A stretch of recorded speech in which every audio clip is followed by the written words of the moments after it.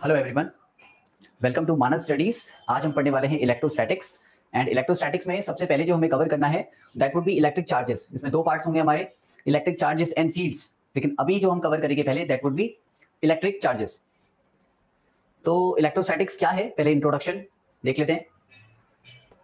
ये फिजिक्स की एक ब्रांच है, जो डील करती है स्टेशनरी चार्जेस या फिर स्लो मूविंग जो चार्जेस होते हैं, जिनमें एक्सेलरेशन नहीं होता है, उनकी स्टडी को ये बताती है। तो दैट इज़ इलेक्ट्रोस्टैटिक्स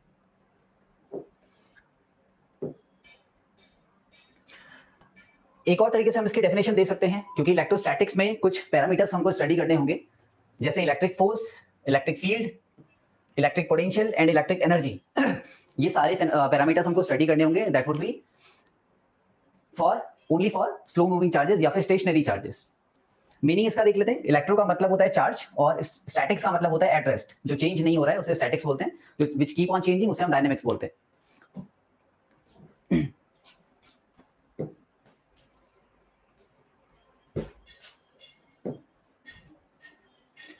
आगे बढ़ते हैं। नेक्स्ट जो पैरामीटर्स हमने अभी डिस्कस करे, उनको थोड़ा सा समझ लेते हैं, एक ओवरव्यू उनका ले लेते हैं। वैसे अपने आप में ये सारे पैरामीटर्स पर हमारे पास चैप्टर्स हैं।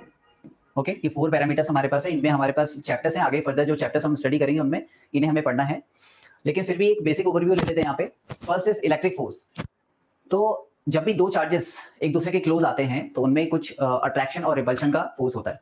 अगर वो चार्जेस लाइक चार्जेस होंगे, दोनों चार्जेस अगर लाइक चार्जेस होंगे तो उनमें होगा repulsion they will repel each other और अगर अपोजिट चार्जेस होते हैं तो क्या होगा?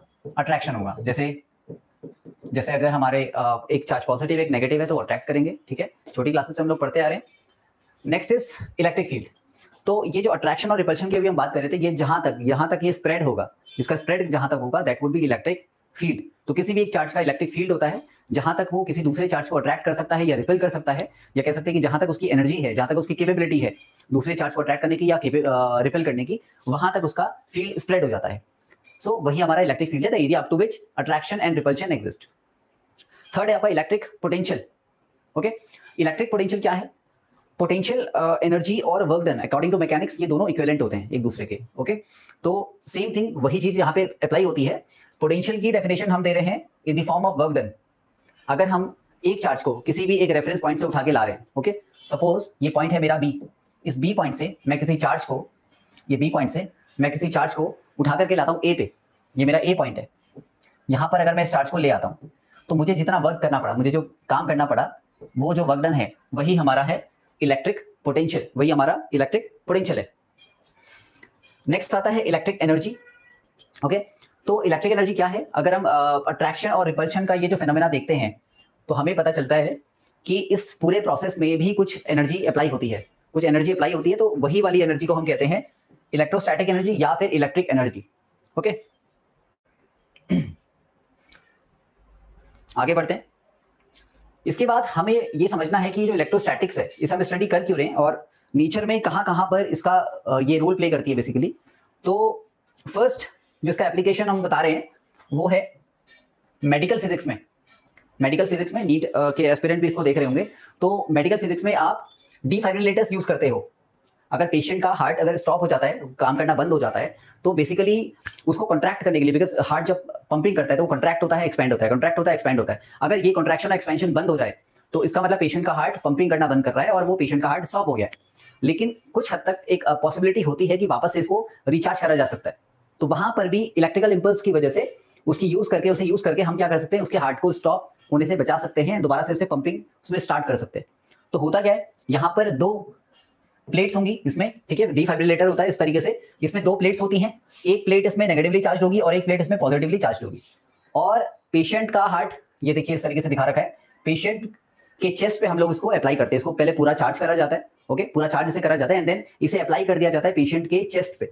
तो पेशेंट के चेस्ट पे जब इसे अप्लाई कर दिया जाता है तो वहाँ से इलेक्ट्रिकल इंपल्स ट्रांसफ़र होता है इस डिवाइस के थ्रू उसके हार्ट तक। और हार्ट तक जब वो ट्रांसफ़र होता है तो हार्ट वापस से वहाँ पे पंपिंग करना स्टार्ट कर देता है। तो ये एक बेसिकली एक रोल प्ले करता है। इलेक्ट्रोस्टैटिक्स ही है ये बिकॉज़ यहाँ पर जो एनर्जी स्टोर हो रही है, ये नेगेटिव है, ये पॉजिटिव है, ये इलेक्ट्रोस्टैटिक एनर्जी ही है, जो ट्रांसफ़र होगी वापस किस पे? हार्ट तक जो ट्रांसफ़र होगी। ये देख सकते हैं हम यहाँ पे पॉजिटिव नेगेटिव ये पूरा एक जब आप इसको कनेक्ट करते हैं ह्यूमन बॉडी से जब ये कनेक्ट होता है तो उसको क्या मिल जाता है? पूरा प्रॉपर सर्किट मिल जाता है पाथ मिल जाता है तो करंट जो है, ये इलेक्ट्रिकल इम्पल्स जो है, वो हार्ट को स्टार्ट करेगी। इसके बाद अगला जो आ, इसका एप्लीकेशन है जिसमें हमें ज़्यादा टेक्निकल पार्ट में जाने की ज़रूरत नहीं है लेकिन हमें पता होना चाहिए कि फोटोकॉपी मशीन जो होती है ये भी इलेक्ट्रोस्टैटिक्स की एक एप्लीकेशन है। इलेक्ट्रोस्टैटिक्स से ही इसको हम यूज़ कर पाते हैं। इस तरह की आपने फ़ोटो कॉपी करने वाली मशीन देखी होगी जो पर्टिकुलर फेनोमेना है जिसकी वजह से ये रन करती है वो जेरोग्राफी है। हम हमेशा कहते हैं जेरोक्स चाहिए हमको। जेरोक्स का मतलब होता है फ़ोटो कॉपी ओके जेरोक्स का मतलब होता है फ़ोटो कॉपी तो कुछ इस तरीके से इसका मैकेनिज्म है ज़्यादा टेक्निकल हमें जाने की ज़रूरत नहीं है इसमें। बेसिकली यहाँ पर आ, ये प्लेट जिस पर हम अपने पेपर को रख रहे हैं ये प्लेट पॉजिटिवली चार्ज होती है। ये प्लेट पॉजिटिवली चार्ज होती है। अब पेपर पर अगर कुछ लिखा हुआ है इसकी मुझे जैसे इसमें फिजिक्स लिखा हुआ है इसका मुझे एक कॉपी चाहिए एक और मुझे इसकी कॉपी चाहिए तो मैं क्या करूँगा इस पॉजिटिवली चार्ज प्लेट पर इसको रख दूँगा। अब जो इसमें फॉन्ट है अगर वो नेगेटिवली चार्ज है बिकॉज़ एक टोनर आता है एक पाउडर आता है वो पाउडर इस फॉन्ट पर लगता है जब तो नेगेटिवली चार्ज वो जो ब्लैक पार्ट है, वो नेगेटिवली चार्ज हो जाएगा और वो नेगेटिवली चार्ज वापस से प्लेट में चिपक जाएगा। बेसिकली उस पेपर में ब्लैंक पेपर पे चिपक जाएगा, जो कि हमने दूसरा ब्लैंक पेपर हमने लगाया जिसपे हमें उस प्रिंट को चाहिए। और वो कैसे होगा? बिकॉज़ प्लेट जो है, वो पॉजिटिवली चार्ज है और जो टोनर है, या ब्लैक फॉन्ट जो भी है, वो नेगेटिवली चार्ज है। तो पॉजिटिव और नेगेटिव क्या करते हैं? अट्रैक्ट करते हैं और उस तरीके से हमको एक और पेपर में यही पर्टिकुलर फॉन्ट हमको मिल जाता है। फिर इलेक्ट्रोस्टैटिक डस्ट प्रेसिपिटेटस अगर हम देखें तो एयर पॉल्यूशन बोर्ड में भी हम इलेक्ट्रोस्टैटिक्स का यूज़ करते हैं एयर पॉल्यूशन को कंट्रोल करने में भी इसका यूज़ करते हैं। तो अगर हमारे पास जैसे अगर बहुत ज़्यादा पॉल्यूशन अगर है तो हमारे पास स्मोक में बहुत ज़्यादा कार्बन कंटेंट होगा, बहुत ज़्यादा डस्ट पार्टिकल्स होंगे कार्बन कंटेंट होगा। अब उसे फ़िल्टर करने के लिए भी हम इलेक्ट्रोस्टैटिक्स का यूज़ कर सकते हैं। अगर आप यहाँ पे देखें तो दो दो प्लेट्स हमारे पास यहाँ पे है। ये दो प्लेट्स हमारे पास है। इन्हें कहते हैं इलेक्ट्रोस्टैटिक डस्ट प्रेसिपिटेटर्स ठीक है? तो दो प्लेट्स हमारे पास है। अगर आप देखोगे तो यहाँ पर कलेक्टिंग प्लेट्स हैं। ये कलेक्टिंग प्लेट्स है हमारी। ठीक है? अब ये पॉजिटिवली चार्ज है, अगर ये पॉजिटिवली चार्ज है, ठीक है? और जो डस्ट पार्टिकल्स है, अगर वो नेगेटिवली चार्ज है तो वो क्या करेगा? प्लेट पे अट्रैक्ट हो जाएगा। तो अगर आप यहाँ से वो जो जितने भी गैस है, जो कि पोल्यूटेड है, उसको यहाँ से रन कराएँगे तो पॉजिटिवली चार्ज प्लेट पे क्या होगा? वो सारे डस्ट पार्टिकल्स चिपक जाएँगे अट्रैक्ट हो जाएँगे। और आपको जो मिलेगी, वो ऐसी गैस आपको वहाँ से पास आउट होकर मिल जाएगी, जिसमें कि डस्ट पार्टिकल्स नहीं होंगे। ये बेसिक सा फेनोमेना इसमें है। ज़्यादा टेक्निकल पार्ट पे जाने की हमें ज़रूरत नहीं है, लेकिन हमें पता होना चाहिए। एक बेसिक ओवरव्यू हमें पता होना चाहिए कि एक्चुअली कहाँ कहाँ पे हम इसका यूज़ करते हैं। नेक्स्ट हमारे पास जो एप्लीकेशन है, वो है paint spring guns paint spring guns अगर हम देखें तो जैसे गाड़ी है तो ऑटोमोबाइल इंडस्ट्रीज़ में हम लोग स्प्रे करते हैं। अगर हम पेंट वहाँ पे करते हैं तो नॉर्मल पेंट वहाँ पे ब्रश से नहीं होगा। वहाँ पर हमारी ये पेंट स्प्रे गन हमारी यूज़ होती है। तो ये स्प्रे गन्स जो हैं, आप देख सकते हैं, इससे जो पेंट ड्रॉपलेट जो बाहर निकल रही है ये पॉजिटिवली चार्ज है। और जिस सरफेस पर, जिस सरफेस पर, या फिर कार का पैनल है या कोई भी और मेटल की बॉडी है, अगर वो नेगेटिवली चार्ज है, वो भी चार्ज पैनल है बट वो नेगेटिवली चार्ज है तो ये जितने भी स्प्रे के पार्टिकल्स है, वो क्या करेंगे? उस पर अट्रैक्ट कर जाएँगे। एग्जैक्टली. तो अट्रैक्ट करने का मतलब है कि पॉजिटिव और नेगेटिव क्या करते हैं? अट्रैक्ट करते हैं, ठीक है? तो इस वजह से क्या हो रहा है? हम यहाँ पर इस फेनोमेना का यूज़ कर रहे हैं इलेक्ट्रोस्टैटिक्स का हम यहाँ पे यूज़ कर रहे हैं। एक और यहाँ पे इस तरीके से दिखा रखा है नेगेटिवली चार्ज और ये यहाँ पर भी हमें काम करना है, ठीक है? अगर आप चार्जेस को शफल भी कर सकते हैं यहाँ पे, ठीक है? तो बेसिकली बेसिक हमारा फिनोमेना ये है बेसिक जो रूल यहाँ पे अप्लाई हो रहा है वो ये है कि पॉजिटिव और नेगेटिव आपस में क्या करते हैं अट्रैक्ट करते हैं। नेक्स्ट आपका आता है नेचुरल फिनोमेना है लाइटिंग और थंडर आप लाइटिंग और थंडर की स्टडी भी इलेक्ट्रोस्टैटिक्स के बेसिस पे कर सकते हो। कैसे करते हैं? आप देखिए, कई बार हमें दिखता है कि क्लाउड्स के अंदर ही स्पार्क हो रहा होता है। क्लाउड्स के अंदर स्पार्क हो रहा होता है। या फिर कई बार हम देखते हैं कि एक क्लाउड है और ये दूसरा क्लाउड है इनके बीच में स्पार्क जारी होती है। या फिर कभी कभी हम ऐसा भी देखते हैं कि ये ग्राउंड है, जो कि जिसे हम नॉर्मली थंडर बोलते हैं, जब यहाँ पर हमारा ग्राउंड है और यहाँ पर हमारा क्या है क्लाउड है। अब क्या हो रहा है? क्लाउड से ग्राउंड की तरफ़ को स्पार्क जा रहा है, ठीक है? स्पार्क जा रहा है। तो ये तीन तरह की कंडीशन होती है। जैसे अगर क्लाउड के बीच में ही स्पार्किंग हो रही होगी, ठीक है? तो इसको हम बोलते हैं इंट्रा ये बेसिकली इंट्रा फेनोमेना है, ठीक है? इंट्रा स्पार्किंग है ये। और अगर एक क्लाउड से दूसरे क्लाउड पे जा रही है तो ये इंटर क्लाउड इसे कहते हैं inter cloud phenomena this is inter cloud phenomena और अगर क्लाउड से ग्राउंड की तरफ़ को स्पार्किंग जा रही है तो वो normally cloud to ground phenomena उसको हम बोलते हैं। क्लाउड टू ग्राउंड फेनोमेना जो कि बिल्कुल टिपिकल है, जो कि नॉर्मली हम जिसे हम थंडर बोलते हैं लेकिन दो तरह की थंडर थंडर और होती है। क्लाउड के बीच में भी हो रही होती है और एक क्लाउड से दूसरे क्लाउड के बीच में भी हो रही होती है। तो वो कैसे हो रहा है? बिकॉज़ क्लाउड क्या हो गए पोलराइज हो गए। एक तरफ़ पॉजिटिव चार्ज एक तरफ़ नेगेटिव चार्ज क्लाउड के अंदर दोनों चार्जेस हैं। अब हो क्या रहा है? अगर इंट्रा क्लाउड फेनोमेना की बात करें तो इंट्रा क्लाउड फेनोमेना में एक तरफ़ चार्ज पॉजिटिव हो गया क्लाउड का एक तरफ़ नेगेटिव हो गया। तो इनमें क्या हो रहा है? आपस में इलेक्ट्रिक इंपल्स जनरेट हो रही है। तो चार्ज जब इसमें जनरेट हो गया तो अंदर यहाँ पर क्या है? थंडर आपको दिख रही है।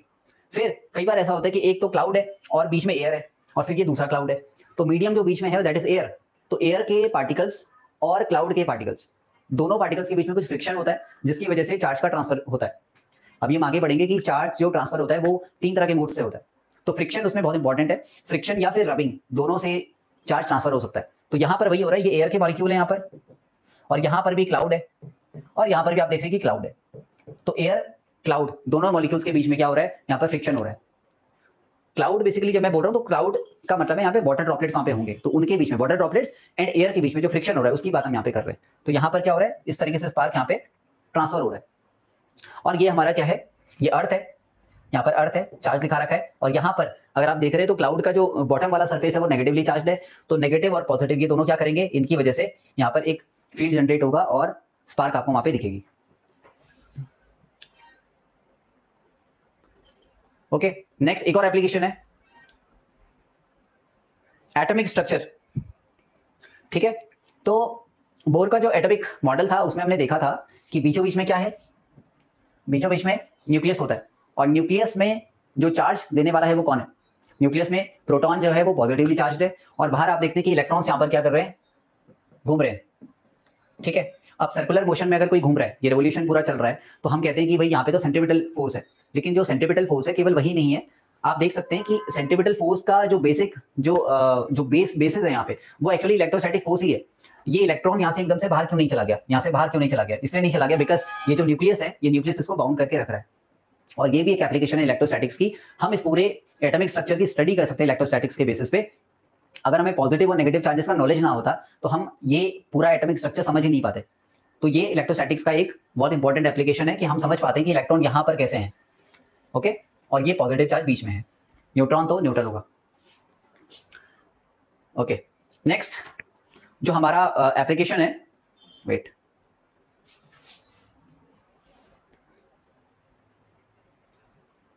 Okay okay. यहाँ पर uh, यहाँ पर थोड़े चेंजेस हमें करने हैं। यहाँ पर हम लिखेंगे इलेक्ट्रिकल कैपेसिटर्स ये जो है ये कैपेसिटर्स है। यहाँ पर थोड़ा सा uh, ये रिप्रिंट हो गया है। ये क्या है? कैपेसिटर्स है। दे आर कैपेसिटर्स ये इलेक्ट्रिकल कैपेसिटर्स है। ठीक है? ये क्या करते हैं? इलेक्ट्रिक इलेक्ट्रिक चार्ज को स्टोर करने का काम करते हैं।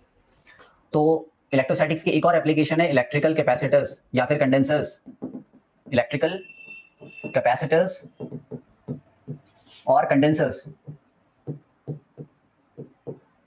ठीक है? तो बेसिकली वैसे इनकी और भी एप्लीकेशन है लेकिन एक बेसिक एप्लीकेशन ये है कि ये ये स्टैटिक एनर्जी को क्या करते हैं? स्टोर करके रखते हैं। जो इलेक्ट्रिक चार्जर से स्टोर करके रखते हैं। और जब भी कोई डिवाइस होता है तो उसको स्टार्ट करने में जो है ज़्यादा एनर्जी चाहिए होती है। अब एकदम से वो एनर्जी हमें कैसे मिलेगी? वो कैसे मिलती है? इनकी हेल्प से मिलती है। हम इसे लगा देते हैं डिवाइस के साथ अटैच रहता है और ये कुछ एनर्जी को स्टोर कर, कर देता है और एकदम से उस एनर्जी को थ्रो करता है तो डिवाइस स्टार्ट हो जाता है। कोई भी मोटर है या कोई भी डिवाइस है फ़ैन है या कुछ भी है तो वो स्टार्ट होने में ज़्यादा उसे एनर्जी चाहिए होती है तो वो काम वो एनर्जी को देना का काम यहाँ पर कैपेसिटर करता है, इसके और भी यूजेज हैं, लेकिन ये इसका बेसिक यूज़ है। तो ये सारे एप्लीकेशन थे इलेक्ट्रिक चार्ज के। अब इलेक्ट्रिक चार्ज क्या है? देखिए, ये इंटेंसिक प्रॉपर्टी है मैटर की ये इंसेंट्रिक प्रॉपर्टी है। तो बेसिकली ये फंडामेंटल प्रॉपर्टी है। आप देख रहे हैं कि इसे हम खुद से क्रिएट नहीं करते ये फंडामेंटल प्रॉपर्टी है मैटर की, ठीक है? और ये क्या करती है? ये बेसिकली जो भी इलेक्ट्रिक जो भी इलेक्ट्रिक फोर्स कोई भी बॉडी कोई भी मैटर फील करता है कहीं पे तो वो because of this electric charge ही करता है। इलेक्ट्रिक चार्जेस नहीं होते तो हमें electric electric feel electric force भी हमें फील नहीं होता। दो बॉडीज के बीच में जो अट्रैक्शन है that is because of electric charge अगर हम ग्रेविटेशन फोर्स की बात करें तो डेफिनेटली वो भी है, दो मासेस के बीच में है। लेकिन अगर दो चार्जेस की बात करें तो उनके बीच में अगर कोई फोर्स है तो दैट इज़ इलेक्ट्रिक फोर्स तो दो इलेक्ट्रिकली चार्ज ऑब्जेक्ट्स अगर होते हैं या फिर एक बॉडी है और वो दूसरी इलेक्ट्रिकली चार्ज बॉडी के पास अगर आ गई है तो जो फोर्स उसे एक्सपीरियंस हो रहा है that is because of electric charge क्योंकि इलेक्ट्रिक चार्ज के मैग्नेट्यूड से ही इलेक्ट्रिक फोर्स जनरेट होता है। ओके नेक्स्ट है क्या क्या मोड है इलेक्ट्रिक चार्ज को ट्रांसफ़र करने के? ट्रांसफ़र ये कैसे होगा? क्या क्या इसके मोड्स हैं? वो देख लेते हैं। फ़र्स्ट इज़ जो कि मैंने क्लाउड वाला एग्जांपल आपको अभी बताया था। क्लाउड वाले एग्ज़ाम्पल में जो आप देख रहे थे कि वाटर मॉलिक्यूल्स के और एयर मॉलिक्यूल्स के बीच में जो फ्रिक्शन हो रहा था, जो उनके बीच में रबिंग हो रही थी एंड देन वहाँ पे थंडर प्रोड्यूस हो रही थी, वो यही था। वो एप्लीकेशन एक्चुअली यही है। या फिर ट्रांसफ़र का जो मोड है, वो यही है कि चार्जिंग बाय फ्रिक्शन वहाँ पे हो रहा था। फ्रिक्शन या रबिंग वहाँ पे हो रही थी। नेक्स्ट है चार्जिंग बाय कंडक्शन या फिर कॉन्टैक्ट कंडक्शन या फिर कॉन्टैक्ट दो बॉडी कॉन्टैक्ट में आती है तो तब जो ट्रांसफ़र का जो मोड वहाँ पे है दैट इज़ कंडक्शन या फिर चार्जिंग बाय कॉन्टैक्ट फिर चार्जिंग बाय इंडक्शन जब विदाउट कॉन्टैक्ट अगर कोई बॉडी अगर चार्ज हो रही है, दो बॉडीज थोड़ा दूर दूर है, थोड़ा डिस्टेंस अपार्ट है तो भी वो चार्ज अगर हो रही है तो that is because of induction अब ये तीनों ही जो हमारे, ये तीनों हमारे जो पैरामीटर्स ये तीनों हमारे जो मोड्स ऑफ़ ट्रांसफ़र हैं, इनको हम एक एक करके स्टडी कर लेते हैं। सबसे पहले हम स्टडी करेंगे चार्ज बाय फ्रिक्शन फ्रिक्शन या फिर रबिंग तो देख लेते हैं, ये बेसिकली किसमें अप्लाई होगा? ये इंसुलेटर्स में अप्लाई होगा, ठीक है? रबिंग जब हम करते हैं तो रबिंग आप देखते हैं कि स्केल को आपने रब करा या बलून को आपने रब करा, ठीक है? और उस पर क्या जाता है? वो कहीं पे स्टिक होने लग जाता है। तो वो कैसे स्टिक हो रहा है? बिकॉज़ वो इंसुलेटर है और इंसुलेटर रबिंग से इंसुलेटर में चार्ज आता है। रबिंग से इंसुलेटर में चार्ज आता है। ये आपको ध्यान में रखना है। तो rubbing of insulators not conductors causes transfer of transfer of charge charges transfer हो सकते हैं अगर आप इंसुलेटर्स अगर आपस में रब होते हैं तो। अब इनमें चार्ज कैसा आएगा? क्योंकि चार्ज चार्ज होने का मतलब है, अगर कह रहे हैं कि चार्ज आएगा बॉडी में तो कैसा चार्ज आएगा? पॉजिटिव आएगा या नेगेटिव आएगा? चार्ज चार्ज बॉडी का मतलब है कि या तो उसमें पॉजिटिव चार्ज है या उसमें नेगेटिव चार्ज है। तो कैसा चार्ज है उसमें? ठीक है? ये डिपेंड करता है, ये डिपेंड करता है कि, ये depend basically triboelectric series पे करता है। अब अगर मैं बात करता हूँ यहाँ पे किसी भी ऑब्जेक्ट की, या कोई भी मैटर अगर हम लेते हैं, ठीक है? जैसे कि अगर हम लेते हैं यहाँ पे ग्लास को, ठीक है? तो ग्लास अगर रबिंग होती है ग्लास ग्लास की कोई भी सपोज़ स्केल ले लिया, कुछ भी ले लिया इसकी रबिंग अगर हम करते हैं तो उसमें कैसा चार्ज आता है? देखिए, हमेशा चार्ज ये नहीं बोलेंगे कि पूरा ही पॉजिटिव आ जाएगा या पूरा ही नेगेटिव आ जाएगा। लेकिन हम ये कह सकते हैं कि हाँ मोर पॉजिटिव या मोर नेगेटिव तो यही सही आ, सही वर्ड यही होगा मोर पॉजिटिव या मोर नेगेटिव वही यहाँ पे मेंशन हुआ है कि ग्लास पे ज़्यादा पॉजिटिव चार्ज आएगा। ग्लास पे ज़्यादा पॉजिटिव चार्ज आएगा। ऐसा नहीं कि नेगेटिव नहीं आएगा लेकिन ज़्यादा पॉजिटिव ग्लास पे आएगा। ठीक है? जितना जितना आप इस, रीडिंग में आप नीचे नीचे जा रहे हो उन पे उतना उतना ज़्यादा नेगेटिव चार्ज आता रहेगा। इनकी रबिंग से उतना ज़्यादा इस पे नेगेटिव चार्ज आता रहेगा। और जो जितने जितने ऊपर हैं जितने टॉप में है उन पर उतना ज़्यादा पॉजिटिव चार्ज आएगा। ठीक है? ये इसका बेसिक यहाँ पर वेरिएशन होगा चार्ज वेरिएशन होगा यहाँ पे टाइप ऑफ़ चार्ज का, कि यहाँ पर जैसे पॉजिटिव आ जाएगा, यहाँ पे नेगेटिव आ जाएगा। ठीक है? ज़्यादा नेगेटिव ज़्यादा पॉजिटिव तो ये ट्राइबो इलेक्ट्रिक सीरीज़ है, ये भी बहुत इंपॉर्टेंट है।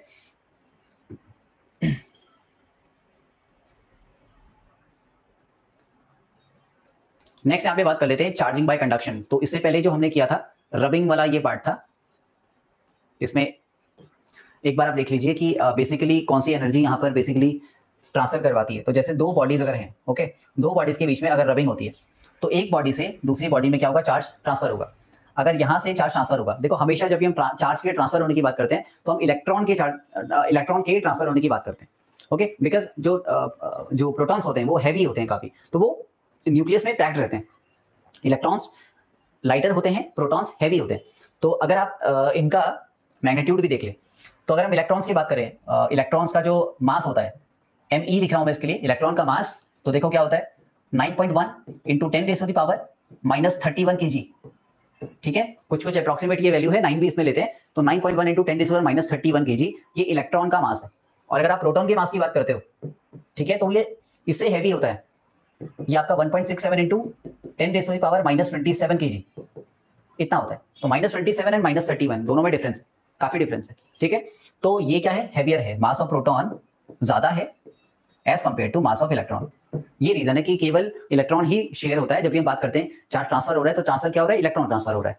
तो अगर यहाँ से यहाँ चार्ज का ट्रांसफ़र हुआ है तो मैं क्या कहूँगा? यहाँ पर कैसा चार्ज है? यहाँ पर माइनस चार्ज जो है, बढ़ गया है। नेगेटिव चार्ज यहाँ पे बढ़ गया है और यहाँ पर क्या हो गया? पॉजिटिव चार्ज यहाँ पे आ गया तो मैं यहाँ पर कहूँगा माइनस क्यू माइनस क्यू लिख सकता हूँ यहाँ पे और यहाँ पर, क्योंकि यहाँ से वहाँ ट्रांसफ़र हुआ है तो यहाँ पर मैं लिख सकता हूँ प्लस क्यू इस तरीके से मैं चार्ज यहाँ पे दिखा सकता हूँ। अब एग्जैक्ट वैल्यू चार्ज की क्या होगी? ठीक है? या अप्रोक्सीमेट वैल्यू क्या होगी? उस पर भी आगे बात करेंगे। प्रिंसिपल है क्वांटाइजेशन का प्रिंसिपल उससे ये डिसाइड हो जाता है कि ये कितना होगा यहाँ पर। ओके अभी आप ये समझिए, यहाँ पे चार्ज होगा माइनस एन ई ठीक है? एन एक इंटीजर है मल्टीप्लाइड बाय एक इलेक्ट्रॉन का चार्ज और यहाँ पर जो चार्ज होगा, वो होगा प्लस एनी यहाँ पर होगा प्लस एनी ओके नेक्स्ट बात कर लेते हैं। Next is charging by conduction charging by conduction या फिर चार्जिंग बाय कॉन्टैक्ट अगर दो बॉडी आपस में कॉन्टैक्ट में आती है ठीक है? तो ये बॉडीज अगर आपस में कॉन्टैक्ट में आ जाती हैं, अगर ये दो बॉडीज के बीच में डिस्टेंस अगर कम हो जाए और ये दोनों कॉन्टैक्ट में आ जाती हैं तो उसके बाद क्या होगा? दोनों ही बॉडीज में सेम काइंड ऑफ़ चार्ज आ जाएगा। कंडक्शन में क्या होता है? दोनों बॉडीज में सेम टाइप का यहाँ पर चार्ज आ जाता है। अगर मैं यहाँ पर देखूँ तो कुछ भी चार्ज यहाँ पर रहा होगा प्लस क्यू ठीक है? और यहाँ से अगर इलेक्ट्रॉन इधर ट्रांसफ़र हुआ, ठीक है? तो कंडक्शन की वजह से जो ट्रांसफ़र होगा वो कुछ इस तरीके से होगा कि बराबर बराबर यहाँ पर चार्जेस आ जाएँगे। सपोज़ यहाँ पर चार्ज आ गया plus q q by two अगर टोटल चार्ज हमारा क्यू है कैपिटल क्यू है तो प्लस क्यू बाई टू और यहाँ पर भी प्लस क्यू बाई टू बराबर बराबर यहाँ पे चार्ज आ जाएँगे, ठीक है? और अगर कभी भी हमें देखना है कि कितना चार्ज यहाँ पे शेयर हुआ है तो वो देखने के लिए हम क्या कर सकते हैं? सपोज़ यहाँ पर चार्ज रहा होगा Q1 ठीक है? लेटर सपोज़ यहाँ प्लस माइनस कुछ नहीं लिखता हूँ, यहाँ Q1 चार्ज है, यहाँ पर Q2 चार्ज है। कंडक्शन के बाद, ठीक है आफ्टर ट्रांसफ़र अगर ट्रांसफ़र यहाँ पर हो जाता है और ट्रांसफ़र कैसे हो रहा है? दोनों के कॉन्टैक्ट होने के बाद ट्रांसफ़र हो रहा है। तो यहाँ पर जो चार्ज होगा that would be q one plus q two upon two और यहाँ पर भी चार्ज होगा q one plus q two upon two इस तरीके से हमारे चार्ज होंगे। ओके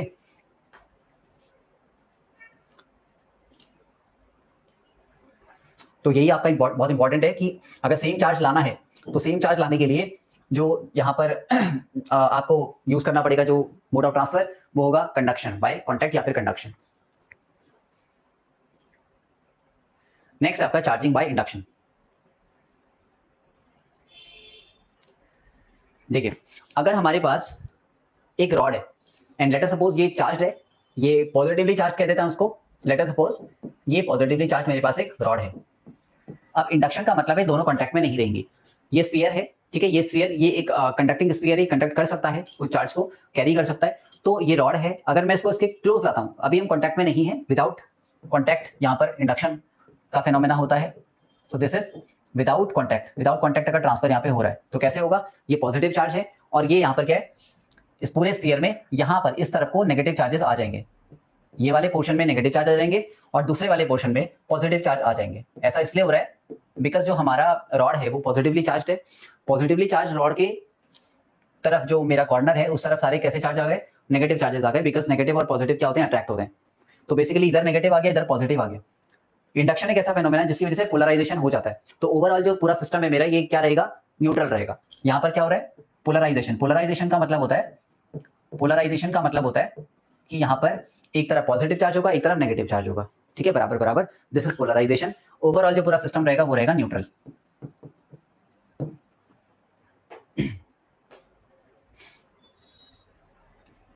नेक्स्ट नेक्स्ट है properties of electric charge electric charge की प्रॉपर्टीज़ क्या क्या हैं? उन्हें देख लेते हैं।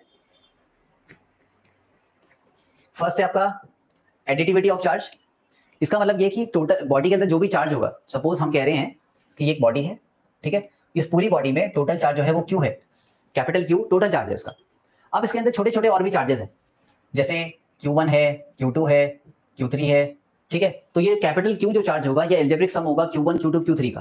तो हम लिख सकते हैं यहाँ पे that is q equal to small q one plus small q two plus small q three ये तीनों चार्जेस का समेशन एल्जेब्रिक सम कर रहे हैं हम, ठीक है? चार्ज है, यहाँ पर कोई वेक्टर सम नहीं हो रहा है, ठीक है? फोर्सेस में वेक्टर सम होगा। चार्जेस में आप क्या करें? एल्जेब्रिक सम ले रहे हैं यहाँ पे। एल्जेब्रिक सम करोगे Q1 Q2 Q3 का तो क्या आ जाएगा? कैपिटल Q, यानी कि ओवरऑल जो चार्ज है, वो आ जाएगा। Next is conservation of charge conservation of charge कुछ वैसे ही है, जैसे कंजर्वेशन ऑफ़ एनर्जी होता है कंजर्वेशन ऑफ़ मास होता है, जो हमने इलेवंथ स्टैंडर्ड में या फिर नाइन्थ स्टैंडर्ड में या फिर और जूनियर क्लासेस में हमने पढ़ा था, ठीक है? तो कंजर्वेशन ऑफ़ चार्ज क्या है? ये ऐसा है कि जैसे मास और एनर्जी खुद से आप क्रिएट नहीं कर सकते, या फिर आप उसे डिस्ट्रॉय भी नहीं कर सकते, लेकिन आप उन्हें ट्रांसफ़र कर सकते हैं दे शेयरेबल वो ट्रांसफ़र हो सकती है। एक एनर्जी दूसरी फॉर्म दूसरी फॉर्म ऑफ़ एनर्जी में ट्रांसफ़र हो सकती है, लेकिन आप उस एनर्जी को क्रिएट नहीं कर सकते। ओवरऑल एक आइसोलेटेड सिस्टम अगर हमारे पास है आइसोलेटेड का मतलब है जिसे कोई एक्सटर्नल फैक्टर्स डिस्टर्ब नहीं कर रहे जो अपने आप में एक सेपरेट एक अपने आप में सिस्टम बन गया दैट इज़ आइसोलेटेड सिस्टम ठीक है? उसमें बाहरी एक्सटर्नल टेम्परेचर का एक्सटर्नल फोर्स का या किसी भी चीज़ का इफ़ेक्ट नहीं पड़ा है दैट इज़ आइसोलेटेड सिस्टम तो वही चीज़ है, एक आइसोलेटेड सिस्टम अगर होगा तो उसमें जो टोटल चार्ज रहेगा वो कॉन्स्टेंट रहेगा। हमेशा कॉन्स्टेंट रहेगा। ऐसा इसलिए है बिकॉज़ आप क्या करते हैं? देखिए, इसके दो दो डेफिनेशन दो दो स्टेटमेंट्स हैं, दोनों स्टेटमेंट कोरिलेट करके आपको समझना है। ऐसा क्यों है? बिकॉज़ आप चार्ज को क्रिएट नहीं कर सकते, आप चार्जर चार्ज को डिस्ट्रॉय नहीं कर सकते। ठीक है? अगर सपोज़ मेरे पास एक सिस्टम है, उस सिस्टम में मेरे पास चार्जेस हो गए one q two q and three q ये तीन मेरे पास उसमें क्या हो गए? चार्जेस हो गए। तो अगर मैं यहाँ पे देखता हूँ कि अगर इसी सिस्टम को दूसरी तरह से मैं देखूँ, थोड़े बहुत शेप में चेंजेस करने के बाद भी मैं क्या देखूँगा? मैं देखूँगा कि अंदर जो चार्ज है वो वहीं का वहीं रहेगा। अगर आपने बाहर से कोई और इसको एनर्जी प्रोवाइड नहीं करी तो अंदर जो चार्ज है वो वैसा का वैसे ही रहेगा। वन टू थ्री ठीक है? ये बराबर किसके होगा? आपका वन थ्री टू के। मतलब one q three q and two q बराबर हो रहा है अभी भी? Six three four five six यानी कि यहाँ पर चार्ज कितना है टोटल सिक्स क्यू यहाँ पर भी चार्ज कितना है? सिक्स क्यू तो ये आपका मतलब कुछ भी अगर एक फिनोमेना या कुछ भी प्रोसेस अगर हो जाता है, उसके बाद भी देखो चार्ज उतना का उतना ही है। ये यहाँ पर बता रहा है कि आप चार्ज को क्रिएट नहीं कर सकते डिस्ट्रॉय भी नहीं कर सकते। इसके बाद आता है क्वांटाइजेशन ऑफ़ चार्ज ये बहुत इंपॉर्टेंट है। जब हमने थर्मल प्रॉपर्टी वाला कंसेप्ट देखा था रबिंग के केस में तो रबिंग के केस में होता क्या है? बॉडीज में रबिंग होती है। फ्रिक्शन में बताया था, दो बॉडीज के बीच में रबिंग होती है। तो यहाँ पर क्या होता है? थर्मल एनर्जी प्रोड्यूस होती है। यहाँ पर थर्मल एनर्जी प्रोड्यूस होती है। और वो थर्मल एनर्जी की वजह से क्या होता है? एक जगह से एक बॉडी से दूसरी बॉडी में इलेक्ट्रॉन ट्रांसफ़र हो जाते हैं। और मैंने बताया था कि यहाँ पर चार्ज होगा, क्योंकि यहाँ से इलेक्ट्रॉन लूज करा गया है तो यहाँ पर चार्ज आ जाएगा पॉजिटिव एनई और जिधर चार्ज गया है, जिधर इलेक्ट्रॉन गया है, उधर हम बोलेंगे चार्ज क्या होगा? नेगेटिव एन ई अब ये एन ई क्या है? वो बेसिकली यहीं से आ रहा है क्वांटाइजेशन ऑफ़ चार्ज से। चार्ज का मतलब ये नहीं है कि चार्ज कितना भी ट्रांसफ़र हो जाएगा, कितना भी शेयर हो जाएगा, ऐसा नहीं होता। जैसे अगर हम रुपी की बात करते हैं मनी की बात करते हैं तो इंडियन करेंसी में हम लोग मिनिमम जो अमाउंट ऑफ़ मनी जो हम शेयर करते हैं, वो है वन रुपी वन रुपी से छोटा हम शेयर नहीं कर सकते.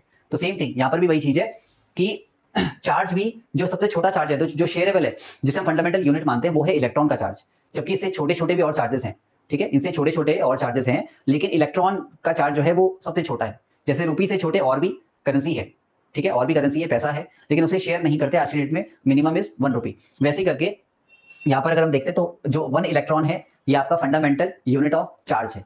ओके क्यू यहाँ पर क्या है? क्यू टोटल शेयरेबल चार्ज है। क्यू का मतलब है टोटल ट्रांसफरेबल या shareable charge total shareable charge और यहाँ पर जो ये एन है, ये एन है एक इंटीजर इंटीग्रल मल्टीपल हम कहते हैं यहाँ पर कि जो भी आपका टोटल चार्ज है, जो शेयरेबल चार्ज है, वो इंटीग्रल मल्टीपल है किसका? बेसिक यूनिट ऑफ़ चार्ज का। That e is basic unit of charge fundamental unit of charge और ये एन क्या है? इंटीग्रल मल्टीपल है। तो एन बेसिकली यहाँ पर क्या है? एक इंटीजर है। एक इंटीजर है। ये प्लस भी हो सकता है माइनस भी हो सकता है। ठीक है? प्लस भी हो सकता है माइनस भी हो सकता है। प्लस माइनस प्लस माइनस आपको लेके चलना जैसे यहाँ पर प्लस है तो ये एन की जगह पर क्या आएगा? प्लस वन हो सकता है प्लस टू हो सकता है प्लस थ्री हो सकता है। Same thing with minus minus one minus two minus three कुछ भी यहाँ पे हो सकता है। तो वही चीज़ यहाँ पे क्यू इक्वल टू एनी ठीक है? N is integer and e का मतलब है यहाँ पर fundamental unit of charge fundamental unit या फिर बेसिक यूनिट ऑफ़ चार्ज ठीक है? तो एक इलेक्ट्रॉन में जो चार्ज होता है, उसको हम इस तरीके से क्यू ई से हम इसको रिप्रेजेंट कर सकते हैं। ये होता है आपका 1.6 point six into ten raise power minus nineteen coulomb यही हमारा बेसिक यूनिट है चार्ज का। ठीक है? तो कोई भी अगर बॉडी है, अगर उसमें शेयर हो रहा है, कोई ट्रांसफ़र हो रहा है तो वो इसके मल्टीपल्स में ट्रांसफ़र होगा। One into this two into this three into this या फिर minus one into this minus two into this minus three into this कुछ इस तरीके से ये शेयर होगा। ओके नेक्स्ट आपका आता है। दो पॉइंट्स है। दो पॉइंट्स हम यहाँ पे ले रहे हैं। एक तो अगर आप माइक्रोस्कोपिक लेवल में देखते हो सपोज़ हमारे पास मल्टीपल चार्जेस हैं, ठीक है? अगर आप माइक्रोस्कोपिक लेवल में इसको देखते हो तो वो कॉन्टिन्यूस दिखाई देते हैं, ठीक है? जब सपोज़ कोई बॉडी है, कोई भी बॉडी है, ठीक है? कोई बॉडी है अब उस बॉडी में अगर आप चार्जेस को देख रहे हो, और बहुत दूर से अगर आप देख रहे हो तो आपको ये देखने को मिलेगा कि वो सारे चार्जेस के कॉन्टिन्यूस हैं। इस तरीके से कॉन्टिन्यूस आप इसको देख सकते हो, ठीक है? जबकि रियलिटी में ऐसा नहीं होता डिस्क्रीट होता है चार्जेस थोड़ा सा डिस्क्रीट होते हैं। सेम थिंग अगर आप इसको माइक्रोस्कोपिक वे में देखते हो, थोड़ा क्लोज जाकर के अगर आप देखोगे तो आप देखोगे कि नहीं, ये चार्जेस में क्या है? ये डिफरेंट डिफरेंट चार्जेस हैं। ये डिफरेंट डिफरेंट चार्जेस जब इनिशियली चार्जेस पे स्टडी हुई थी तो देखा गया था कि मैटर में ओवरऑल चार्ज होता है, एक सिंगल चार्ज होता है पूरे मैटर का। लेकिन बाद में ये देखा गया कि नहीं फंडामेंटल कुछ यूनिट्स होती हैं और वो छोटी छोटी यूनिट्स स्प्रेड हो रखी हैं डिस्क्रीट हो रखी हैं मतलब छोटे छोटे एलिमेंट्स हैं यहाँ पर, जिनमें छोटा छोटा चार्ज है, जैसे इलेक्ट्रॉन्स है, बहुत सारे इलेक्ट्रॉन्स है, और उनको मिलाकर उनके एल्जेब्रिक सम करके, तब जाकर के हमारा क्या बनता है, तब जाकर के ओवरऑल चार्ज क्यों हमारा बन रहा है, ठीक है? तो अगर आप माइक्रोस्कोपिक लेवल में देखते हो मतलब अगर आप दूर से देखते हो, ठीक है? तो आपको लगता है कि ये कॉन्टिन्यूस है अगर आप माइक्रोस्कोपिक लेवल में देखते हो, तब आपको पता चलता है कि चार्जेस क्या डिस्क्रीट है नेचर में डिस्क्रीट है छोटे छोटे चार्जेस और हैं ओके तो बहुत जगह पर हमें देखना पड़ेगा, आपको डिफ्रेंशिएट करना पड़ेगा। हम छोटे छोटे चार्जेस को लेंगे। पूरा चार्ज क्या है? कैपिटल क्यू लेकिन हम क्या करेंगे? हम छोटा सा चार्ज लेंगे। वो छोटे चार्ज को हम लेंगे d q d and small q और फिर इसे इंटीग्रेट हम करेंगे। ओके तो ये सब चीज़ें हमें पता होनी चाहिए कि ऐसा हम क्यों कर रहे हैं बिकॉज़ चार्जेस का डिस्क्रीट नेचर होता है। ये कुछ वैसे ही है। अगर आप, अगर एक पहाड़ी में देखते हैं, गाड़ियाँ खड़ी हैं। अगर वहाँ पे जैम लगा हुआ है, गाड़ियाँ हैं। दूर से अगर आप देखते हैं तो आपको दिखता है कि गाड़ी क्या है, एक साथ लगी हुई है। आपको गैप नहीं दिखता गाड़ियों में। लेकिन आप थोड़ा क्लोज आएँगे या जूम करेंगे, तब आप देखोगे कि गाड़ियों के बीच में वन टू फीट का कुछ गैप वहाँ पे होगा। ये कुछ वैसी है, जब आप माइक्रोस्कोपिक लेवल पे चार्जेस को देखते हैं। तो ये थी प्रॉपर्टीज़ इलेक्ट्रिक चार्जेस की। इसके बाद आता है हमारा कुलम्स लॉ अभी तक हम बात कर रहे थे इलेक्ट्रिक फोर्स की। तो वो जो इलेक्ट्रिक फोर्स है एक्चुअली वो आया कहाँ से? और वो इलेक्ट्रिक फोर्स का मैग्नीट्यूड कितना होता है, वो चीज़ हमको कुलम्स लॉ से पता चलती है। कुलम एक साइंटिस्ट थे, उन्होंने ये बताया था कि कैसे करके दो चार्जेस आपस में इंटरेक्ट करते हैं, ठीक है? सो कुलम्स लॉ जो है, ये यही बताता है कि दो चार्जेस आपस में कैसे इंटरेक्ट करते हैं, ठीक है? दो पॉइंट चार्जेस की बात इन्होंने करी थी। कुलम्स लॉ केवल पॉइंट चार्जेस के लिए वैलिड है, ये एक इसका लिमिटेशन भी है जो हम आगे पढ़ेंगे। पॉइंट चार्जेस का मतलब कुछ वैसे जैसे पॉइंट मासेस होते हैं, वैसे ही पॉइंट चार्जेस ओके अगर आप दो चार्जेस को ले रहे हैं पॉइंट का मतलब क्या है? पॉइंट का मतलब ये नहीं कि वो बहुत छोटा है। पॉइंट का मतलब ये नहीं कि बहुत छोटा है, इसका मतलब एक्जैक्टली ये नहीं है, ठीक है? हम प्लैनेट्स को भी तो पॉइंट मास बोलते हैं कई बार, ठीक है? लेकिन तब जब डिस्टेंसेस बहुत ज़्यादा ज़्यादा होती है, ठीक है? तो सेम थिंग यहाँ पे भी है पॉइंट मास पॉइंट चार्जेस अगर दो चार्जेस हमारे हैं, ठीक है, कुछ डिस्टेंस इनके बीच की है, वो डिस्टेंस आपकी स्मॉल आर हम ले लें, लेकिन इनकी जो अपनी रेडियस है, इन चार्जेस की अपनी भी तो रेडियस है. लेटर सपोज़ इनकी रेडियस है आर दोनों आर रेडियस के हैं.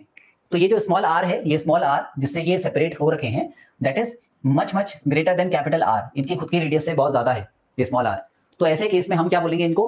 पॉइंट चार्ज बोलेंगे. ये चार्जेस पॉइंट चार्जेस हैं बिकॉज़ इनके बीच की डिस्टेंस बहुत ज़्यादा है as compared to the radius of this charges next अब इसका डेरिवेशन पे आते हैं.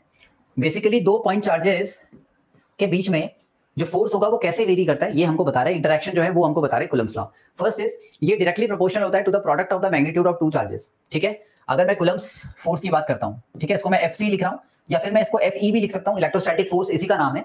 इलेक्ट्रोस्टैटिक फोर्स यही है तो उसको हम एफ़ लिख देते हैं। एफ़ बेसिकली क्या है? ये प्रोपोर्शनल है डायरेक्टली प्रोपोर्शनल है किसके? Q one and q two के मैग्नीट्यूड के। मैग्नीट्यूड का मतलब क्या है? दोनों को मैं आपस में मल्टीप्लाई कर रहा हूँ, ठीक है? या फिर इसे ऐसे लिख सकते हैं। इसे हम ऐसे भी लिख सकते हैं। F e proportional to q one मतलब mod of q one multiplied by mod of q two इस तरीके से हम इसको लिख सकते हैं। मतलब f is proportional to q one into q two ठीक है? यही होता है मैग्नीट्यूड सेकंड इसमें बोलता है कि it is inversely as the square of the distance between the charges मतलब जो एफ़ ई है, पहला इक्वेशन तो मिल गया। This is our first equation f e का बेसिकली एक और पार्ट है। ये प्रपोर्शनल होता है वन अपॉन आर स्क्वायर के। ये प्रपोर्शनल होता है वन अपॉन आर स्क्वायर के। अब ये आर कौन सा है? जो अभी मैंने पॉइंट मास के केस में समझा था। अगर ये मेरा चार्ज है दिस इज़ क्यू वन ठीक है? और यहीं से मैं लेता हूँ एक और चार्ज एक और charge which is q two ठीक है? तो इन दोनों के बीच में जो डिस्टेंस है वो डिस्टेंस है मेरा आर ये डिस्टेंस मेरा आर हो गया दोनों के बीच का, ठीक है? अब ये जो डिस्टेंस है, ये इनवर्सली प्रोपोर्शनल है किसके? मैग्नीट्यूड ऑफ़ फोर्स के, जो इन दोनों के बीच में लगने वाला है। So f is proportional to one upon r square और यहाँ पे हमने देखा f is proportional to q one into q two ठीक है? ये आपका सेकंड इक्वेशन है। ये आपका सेकंड इक्वेशन है।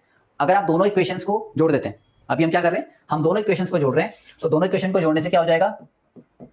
एफ़ जो है प्रपोर्शनल हो जाएगा किसके? Q one q two magnitude of q one into magnitude of q two divided by किसके?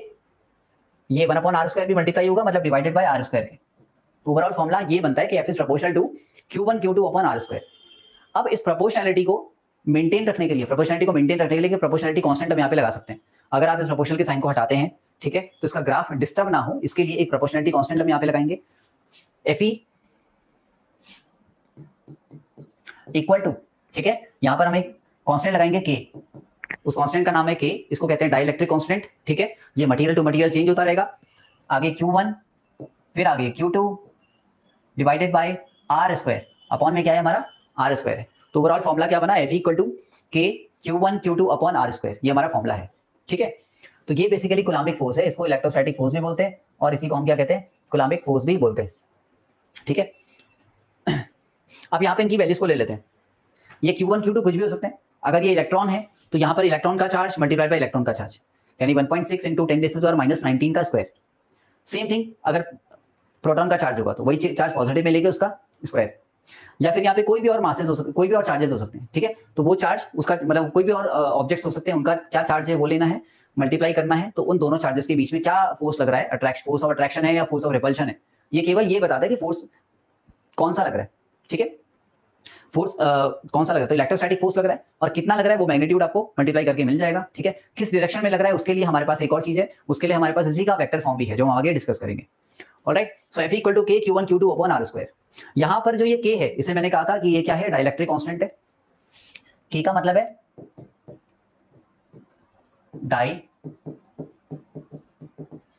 इलेक्ट्रिक कांस्टेंट मतलब दोनों के दोनों चार्जेस के बीच में अगर आप कुछ फिल कर देते किसी मीडियम को अगर आप फिल कर देते हो ठीक है? हो सकता है वो मीडियम एयर हो, हो सकता है वैक्यूम हो ठीक है? या कोई और भी चीज़ हो सकती है कोई भी और मीडियम हो सकता है वाटर भी हो सकता है ठीक है? कोई भी कंडक्टिंग मीडियम अगर आपने डाल दिया ठीक है? तो बेसिकली यहाँ पर क्या हो गया? डाइलेक्ट्रिक कांस्टेंट आपको यहाँ पे लेना है ठीक है? के की जो वैल्यू होती है अभी हम केवल वैक्यूम के लिए लेंगे। वैक्यूम के लिए जो उसकी वैल्यू होती है वो होती है nine into ten raise to power nine, इसकी वैल्यू होती है nine into ten raise to power nine ठीक है? वैक्यूम में इसकी वैल्यू होती है nine into ten raise to power nine आप इसकी यूनिट निकाल सकते हो, ठीक है? चार्जेस की यूनिट क्या होती है?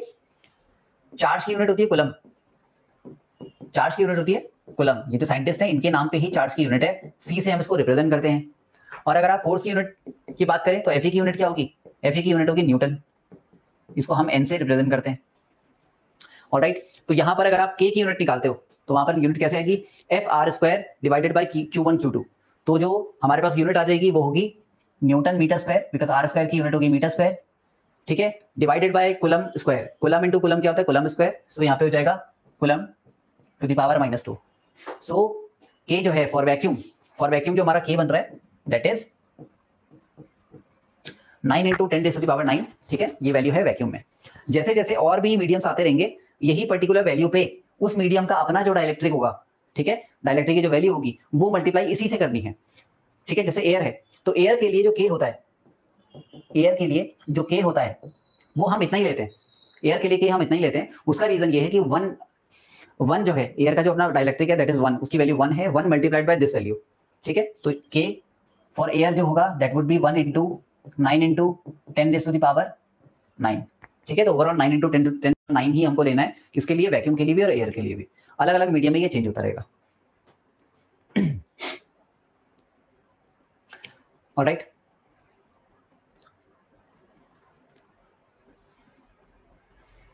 फिर एक और चीज़ आती है। It acts along the line joining the two charges ये दो चार्जेस के बीच में जो लाइन है, उसके अलॉन्ग ये एक्ट करता है। सपोज़ मेरे पास दो चार्जेस थे। एक चार्ज ये है, एक चार्ज मेरा ये है। तो हमेशा ये कैसे एक्ट करेगा? सेंटर टू सेंटर दोनों चार्जेस का अपना एक सेंटर है, ठीक है? हमें बाहर से नहीं इसको पॉइंट करना, बाहर से मेजर नहीं करना होता।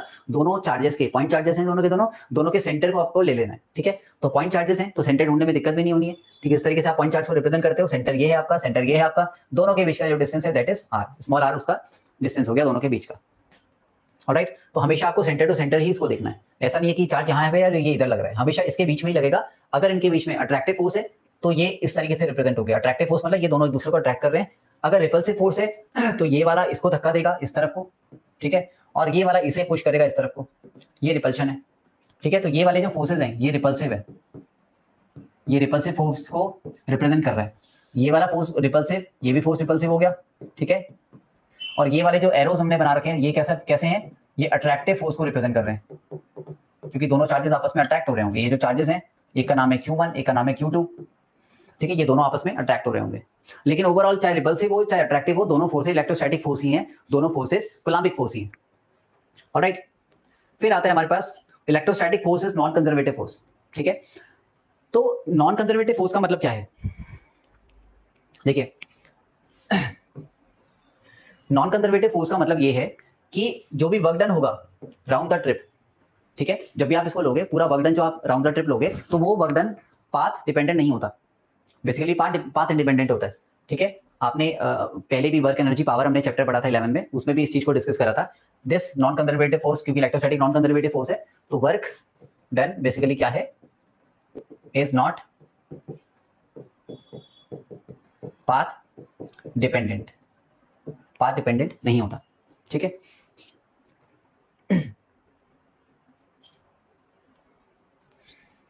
नेक्स्ट आता है प्रिंसिपल ऑफ़ सुपरपोजिशन। अब देखिए, अगर एक सिस्टम है तो सिस्टम में कोई ऐसा नहीं होगा कि केवल एक या दो चार्जेस होंगे। उसमें मल्टीपल चार्जेस हो सकते हैं एक साथ, और मल्टीपल चार्जेस की वजह से एक सिंगल चार्ज पर आप इलेक्ट्रोस्टैटिक फोर्स लग रहा होगा। अब अगर आप इलेक्ट्रोस्टैटिक फोर्स की बात करते हैं तो अनलाइक चार्जेस चार्जेस को जब हम समीशन कर रहे थे तो बिकॉज़ वहाँ पर चार्जेस थे तो हमने क्या करा? एल्जेब्रिक सम करा था। लेकिन क्योंकि फोर्स इन वेक्टर क्वांटिटी है तो यहाँ पर आपको क्या करना पड़ेगा? वेक्टर सम करना पड़ेगा। यही चीज़ यहाँ पर प्रिंसिपल ऑफ़ सुपरपोजिशन बताती है कि अगर कोई भी एक चार्ज आप लेते हैं, ठीक है? फोर्स ऑन एनी चार्ज अगर कोई भी एक चार्ज मैं लेता हूँ, ये चार्ज मेरा है क्यू वन एक चार्ज मैं यहाँ पे ले रहा हूँ क्यू वन ये मैं सेंट्रली लोकेटेड यहाँ पे दिखा रहा हूँ इसको, ठीक है क्यू वन तो नंबर ऑफ़ अदर चार्जेस की वजह से इस पर जो फोर्स लग रहा होगा, ठीक है, हो सकता है इसके, ये बहुत सारे चार्जेस के साथ और भी चार्जेस का कनेक्ट हो रखा है। सपोज़ ये क्यू टू है, इस तरफ़ आपका क्यू थ्री है, ये इस तरफ़ आपका क्यू फोर है और यहाँ पर आपका क्या है? क्यू एन है। तो मल्टीपल चार्जेस हमारे यहाँ पर है और ये मल्टीपल चार्जेस क्या कर रहे हैं? मल्टीपल चार्जेस इस क्यू वन पर क्या लगा रहे हैं? फोर्स लगा रहे हैं। तो आपको क्या करना है? अगर आपको ओवरऑल फोर्स निकालना है टोटल फोर्स निकाल रहे हैं क्यू वन पे तो हम क्या करेंगे? हर एक चार्ज की वजह से क्यू वन पर जो फोर्स लग रहा है, उन सारे फोर्सेस का हम क्या कर देंगे? वेक्टर सम कर देंगे। ठीक है? तो ओवरऑल मतलब टोटल जो फोर्स लग रहा है क्यू वन पर, उसको मैं कहूँगा एफ़ वन उसे मैं कहूँगा एफ़ वन एफ़ वन मैं उस फोर्स को कहूँगा। ठीक है? क्योंकि वो क्यू वन पर लग रहा है तो मैं एफ़ वन कह रहा हूँ, ठीक है?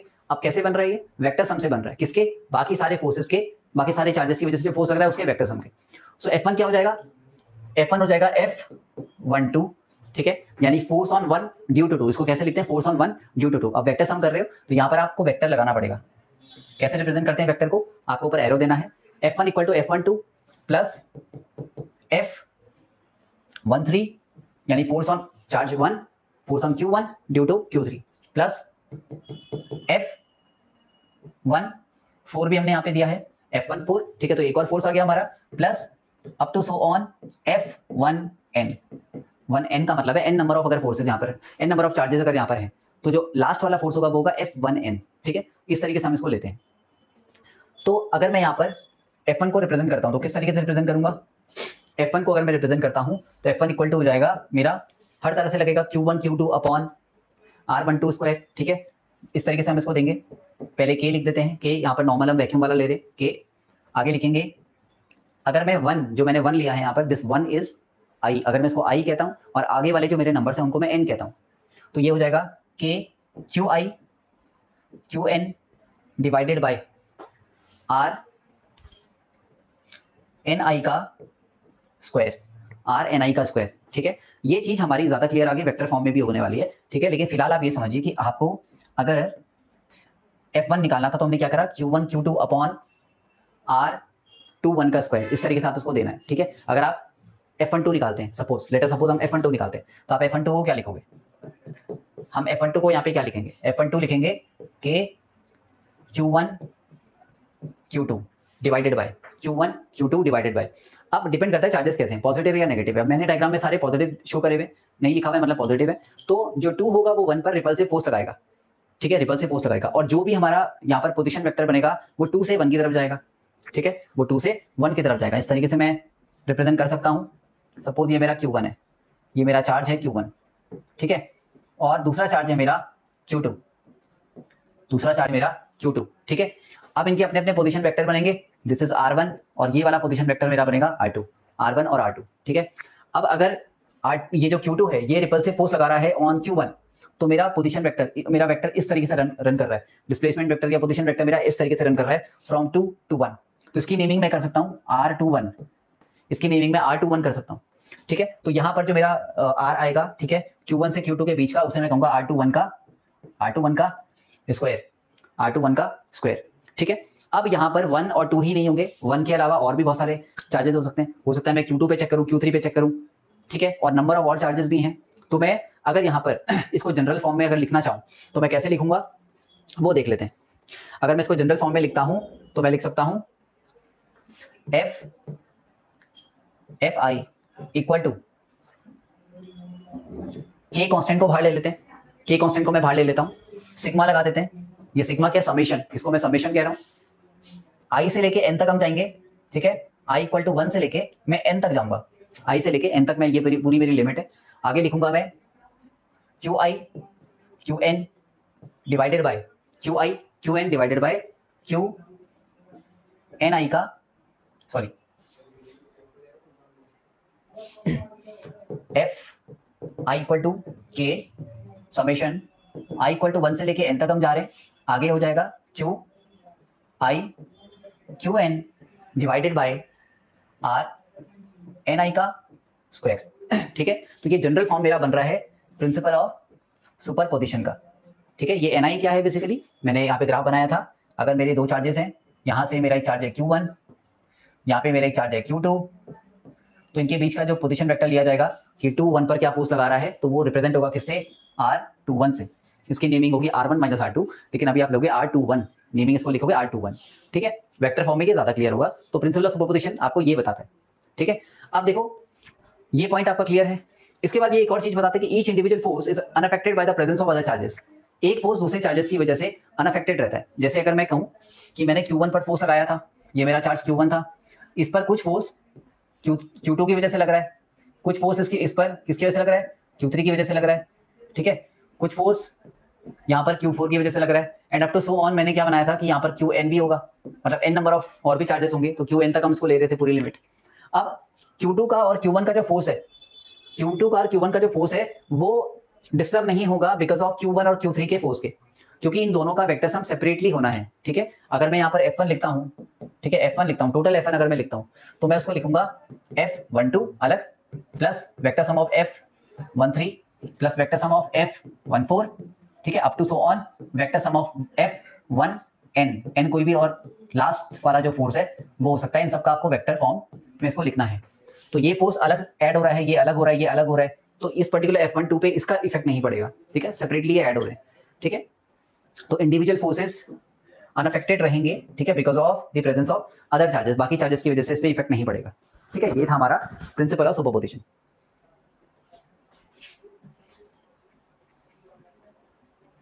फिर आता है हमारा लिमिटेशंस ऑफ़ कुलम्स लॉ ठीक है? तो लिमिटेशन ये कहती है, पहला, कि ये एक्सटेंडेड चार्जेस पर वैलिड नहीं होते। केवल पॉइंट चार्जेस पर वैलिड होते हैं।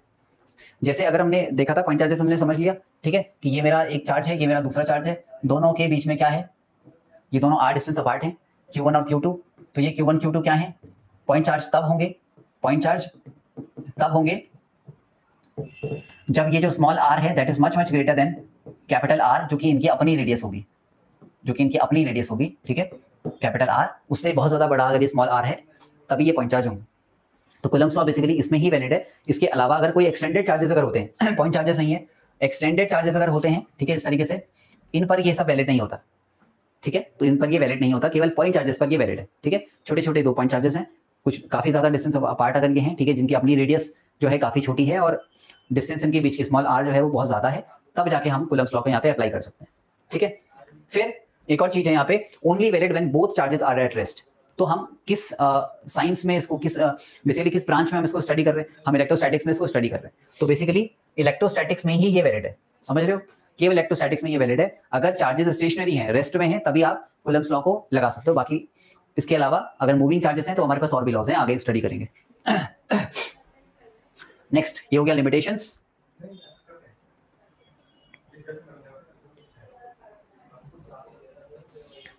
ओके अब आता है हमारे पास vector form of Coulomb's law ठीक है? कुलम्स लॉ की वेक्टर फॉर्म तो अभी जो हम नेमिंग कर रहे थे वन से टू जाना है टू से वन जाना है तो क्या नेमिंग करनी है? आर वन टू लिखना है आर टू वन लिखना है, या एफ़ वन टू है आर एफ़ टू वन है, क्या मतलब है? एक बार बता दिया, एक बार दोबारा से इसको डेरिवेशन में भी देख लेते हैं, ठीक है? तो सबसे पहले पोजिशन वेक्टर की पोजिशन वेक्टर की किस तरीके से पोजिशन वैक्टर को हमें लिखना पड़ता है, वो देख लेते हैं, ठीक है? सपोज़ सपोज़ मैं इस तरीके से दो, अपने दो चार्जेस को ले रहा हूँ। एक चार्ज मेरा ये है। इस चार्ज का नाम मैं देता हूँ क्यू वन ठीक है? दूसरा चार्ज मेरा ये है। इस चार्ज का नाम मैं देता हूँ क्यू टू अब ये जो भी डिस्टेंसेस में ले रहा हूँ, एक स्पेसिफिक पॉइंट से ले रहा हूँ, इस स्पेसिफिक पॉइंट को मैं ओरिजिन ओ नाम दे रहा हूँ, ठीक है? दोनों के बीच की जो डिस्टेंस होगी, वो यहाँ से कैलकुलेट होगी।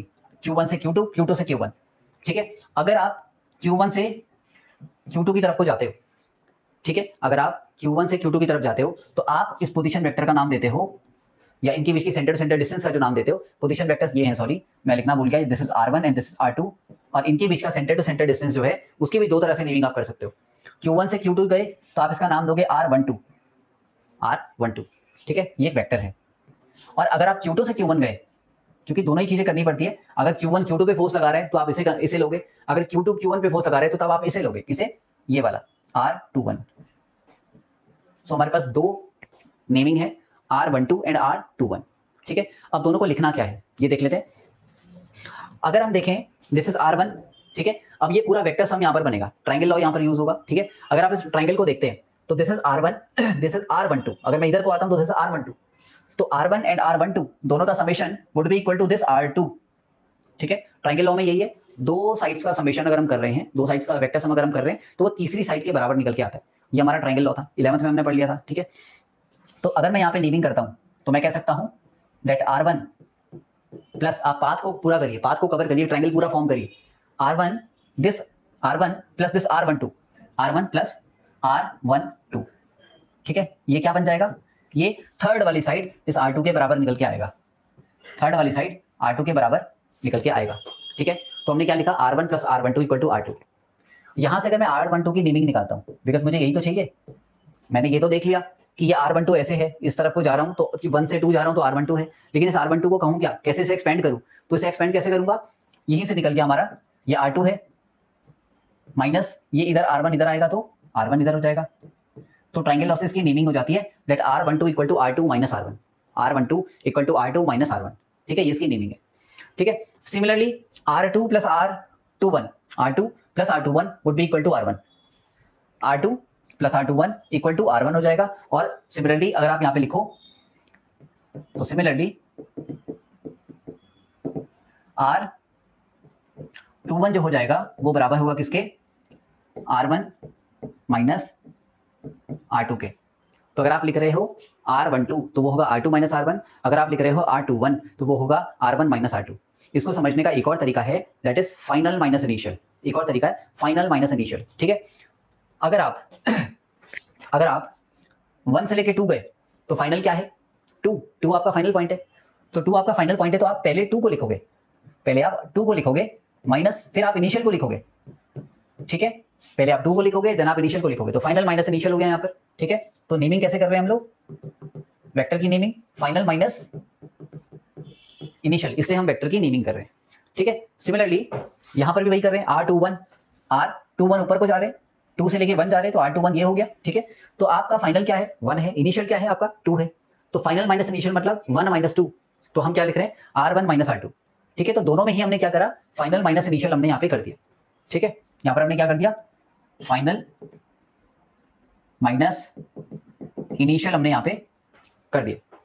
Next vector form of Coulomb's law को डिराइव अब हम करते हैं बिकॉज़ हमें ये पता होना चाहिए था कि मीनिंग कैसे करनी है, ठीक है? इसके बाद हम vector form of Coulomb's law को डिराइव करते हैं।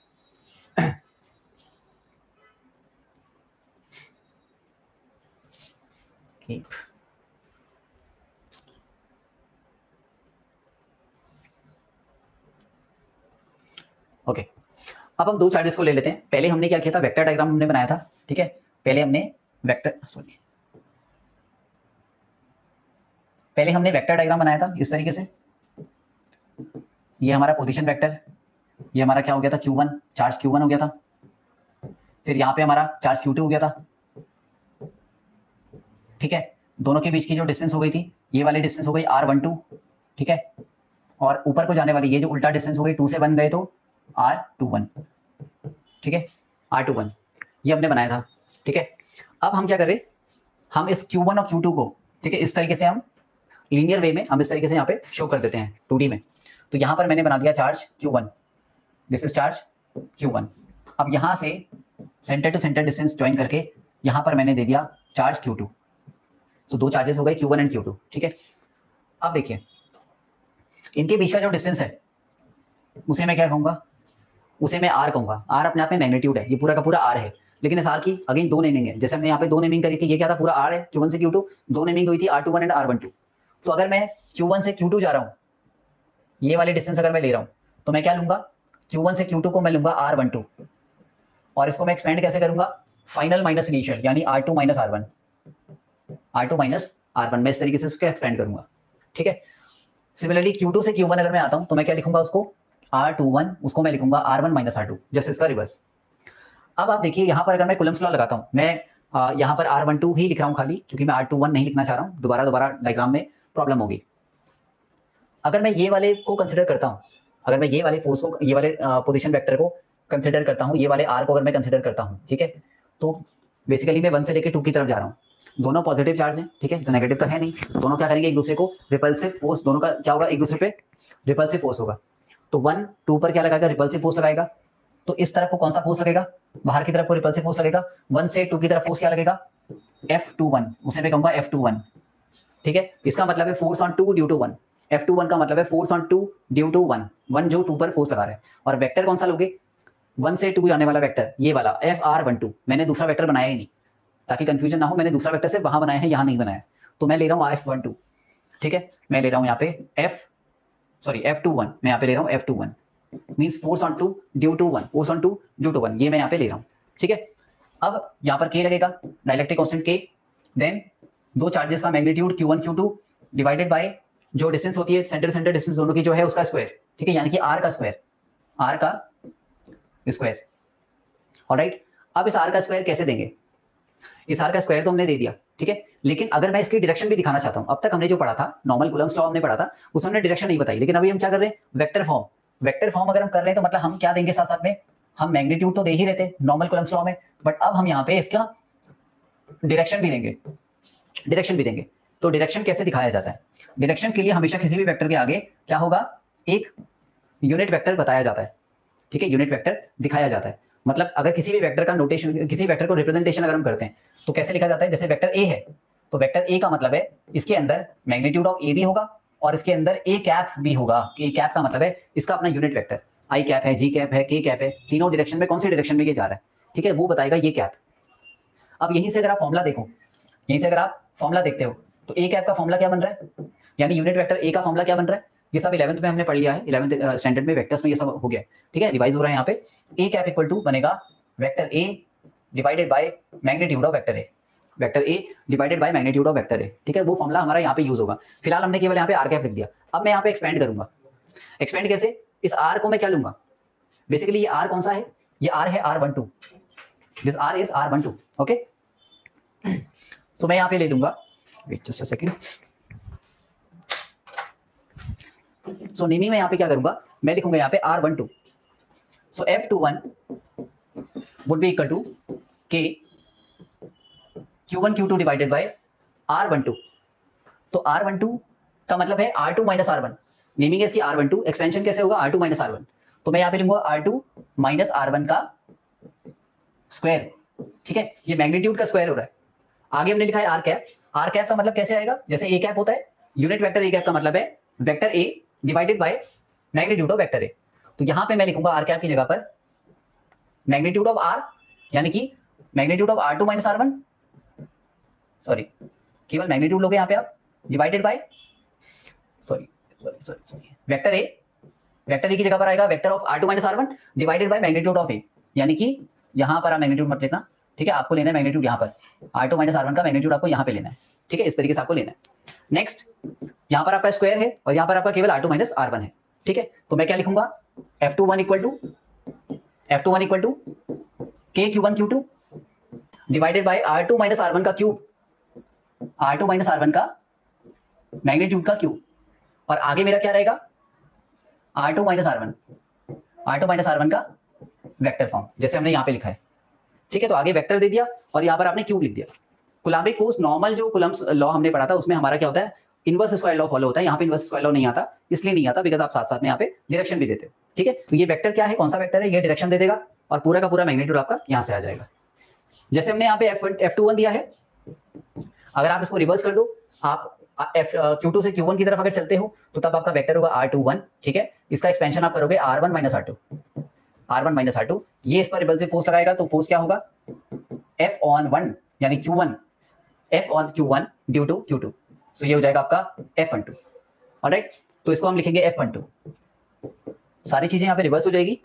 ये रहेगा मेरा K Q one Q two divided by यहाँ पर R two minus R one था, अब हो जाएगा R one minus R two R one minus R two इसका क्यूब और R one minus R two का ही क्या हो जाएगा? वेक्टर ठीक है? तो this is F two one मतलब force on two due to one this is F one two force on one due to two ठीक है? तो ये हो गया हमारा vector form of Coulomb's law अब इसके बाद आता है हमारा permittivity directive constant and force ठीक है? परमिटिविटी बेसिकली क्या है? देखिए, जब हम कुलम्स लॉ को लिख रहे थे तो हम लिख रहे थे F equal to K Q one Q two upon R square इस तरीके से हमने लिखा था। ये फोर्स होगा, अगर आपके दो चार्जेस हो गए क्यू वन एंड दूसरा चार्ज आपका क्यू टू इनके बीच का डिस्टेंस आपका आर ठीक है तो इनवर्स स्क्वायर लॉ बन रहा है यहाँ पे। अब ये जो के है, ठीक है, ये आपका डायलेक्ट्रिक कांस्टेंट है के ठीक है, ये डायलेक्ट्रिक कांस्टेंट है के इसको आप कैसे लिख सकते हो? उसका एक्सपेंशन होता है one upon four pi epsilon naught one upon four pi epsilon naught ठीक है नॉर्मली हम जब लिखते हैं परमिटिविटी एप्साइलन से इसको रिप्रेजेंट करते हैं, इस तरीके से आप इसको समझ सकते हो एप्साइलन अगर यहाँ पर नॉट लगा रखा है, इसका मतलब क्या है? यहाँ पर आपका जो मीडियम है दैट इज़ ओनली वैक्यूम केवल वैक्यूम यहाँ पर है। तो एप्साइलन नॉट मतलब permittivity in permittivity in vacuum so यहाँ पर आ गया one upon four pi naught K की वैल्यू आपको पता है? के की वैल्यू होती है nine into ten to the power nine ठीक है? और एप्साइलन की वैल्यू अगर हम लें तो बेसिकली एप्साइलन नॉट की वैल्यू लेंगे पहले बिकॉज़ डिफरेंट डिफरेंट मीडियम में अलग अलग होगा। एप्साइलन नॉट की value eight point five four into ten to the power minus twelve. ठीक है, ये इसकी वैल्यू होती है। ये इसकी वैल्यू होती है केवल किसमें? इन वैक्यूम केवल वैक्यूम में आपको ये वैल्यू लेनी है। इसीलिए हम इसको एप्साइलन नॉट लिख रहे हैं। अगर कोई और मीडियम होगा तो उसकी वैल्यू चेंज होती रहेगी। ठीक है? यूनिट कैसे लेंगे? F equal to K Q one Q two upon R square ये होता है। अगर आप के की यूनिट लिखते हैं तो कैसे लिखते हैं? F R square upon Q one Q two यानी न्यूटन मीटर स्क्वायर एंड मतलब पर कुलम स्क्वायर एप्साइलन क्या है? इनवर्सली प्रोपोर्शनल टू के है। K is inversely proportional to epsilon naught ठीक है? तो जो भी आप यूनिट यहाँ पे लिखोगे, वो जस्ट रिवर्स होगी। एप्साइलन की अगर आप यूनिट लिखते हो तो क्या लिखोगे? कुलम स्क्वायर पर न्यूटन पर मीटर स्क्वायर इस तरीके से हम इसकी यूनिट दे देंगे। अब देखिए फोर्स पे क्या डिपेंड करता है? तीनों को आपको कंपेयर करना है। एफ़ क्या होगा? Proportional to F proportional to हो जाएगा के के। ठीक है? लेकिन एफ़ प्रपोर्शनल इन्वर्सली प्रपोर्शनल किसके हो जाएगा? एप्साइलन नॉट के, या फिर एप्साइलन के। यानी परमिटिविटी परमिटिविटी अगर ज़्यादा होगी, अगर परमिटिविटी ज़्यादा हो गई तो फोर्स क्या होगा? कम लगेगा। फोर्स कम लगेगा अगर परमिटिविटी ज़्यादा हो गई। सिमिलरली के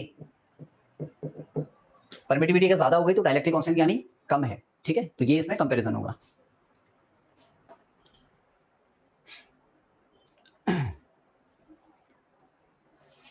चेंज नेक्स्ट आपका रिलेटिव परमिटिविटी और dielectric constant dielectric constant actually relative permittivity को ही कहते हैं। ठीक है, इसको आप एप्साइलन आर से भी रिप्रेजेंट कर सकते हैं। क्योंकि जो एप्साइलन है, वो आपके, मैंने बताया था, एक तो एप्साइलन नॉट होगा, जो आप वैक्यूम के लिए लेते हैं। ठीक है, एक एप्साइलन एम होगा, जो आप किसी भी मीडियम के लिए लेते हैं डिपेंड करता है, दोनों चार्जेस के बीच में क्या मीडियम आपने फिल करा हुआ है। और राइट तो जो एप्साइलन आर होगा, ये कैसे बनेगा? परमिटिविटी किसी भी मीडियम में डिवाइडेड बाय परमिटिविटी किसमें? वैक्यूम में। इस तरीके से हम लोग क्या लेंगे? हम रिलेटिव परमिटिविटी को निकालेंगे। ठीक है?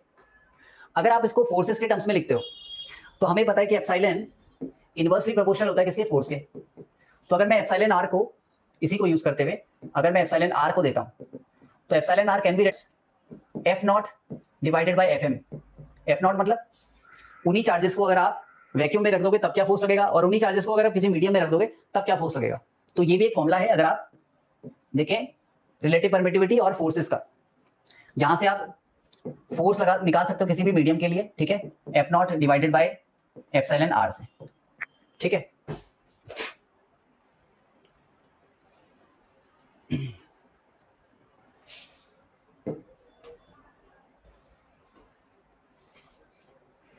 अब आते हैं difference in similarity between F E and F G ये क्या है आपका? इलेक्ट्रोस्टैटिक फोर्स और ये क्या है आपका? ग्रेविटेशनल फोर्स दोनों फोर्सेस में डिफरेंस है।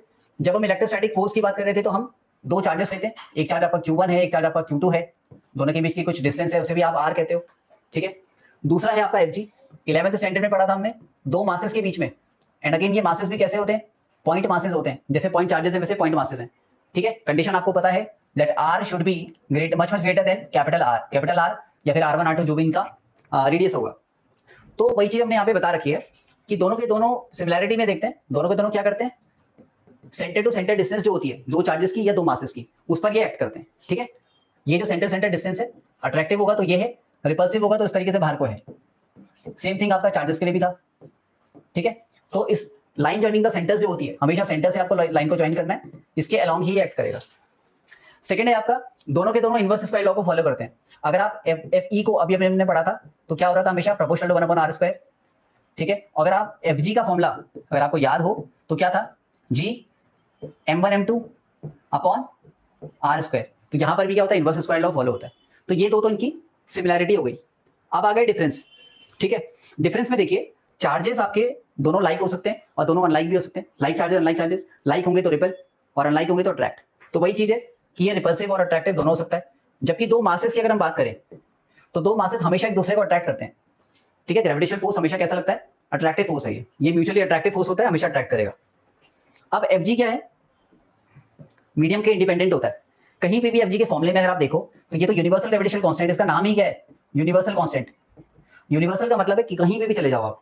ठीक है स्पेस में भी चले जाओ तब भी इसने इस फॉर्मुले ने चीज़ नहीं होना ये ऐसे ही रहेगा। सो so, ये इंडिपेंडेंट है किसके? मीडियम के। जबकि इसके फॉर्मुले में अगर आप देखते हो तो आपको मिलता है K F equal to K Q one Q two upon R square ये जो के है ये क्या डायलेक्ट्रिक कांस्टेंट है? ये के मीडियम के साथ साथ चेंज हो जाएगा। ठीक है? एफ़ जी की जो वैल्यू होती है ये मच मच स्मॉलर देन होती है F K. Gravitation force smallest weakest force बोला जाता है। ठीक है? अगर आप देखते हैं रेशियो अगर आप यहाँ से देखते हैं ठीक है? तो एफ़ डिवाइडेड बाई एफ़ अगर आप करते हैं तो ये approximately equal to ten to the power forty के बराबर आता है। ठीक है? तो इससे आप पता लगा सकते हैं कि एफ़ बहुत छोटा है डिनोमिनेटर में एफ़ को रखा तो ये इसको इतने ज़्यादा टाइम्स कैंसिल कर रहा है। तो इसका मतलब एफ़ क्या है? काफ़ी ज़्यादा काफ़ी ज़्यादा स्ट्रॉन्ग है। ठीक है? Thank you so much